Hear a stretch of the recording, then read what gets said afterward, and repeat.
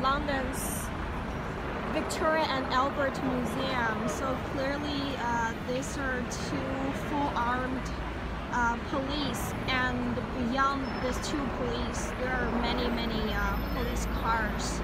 And okay I saw uh, I saw some police were running. Okay.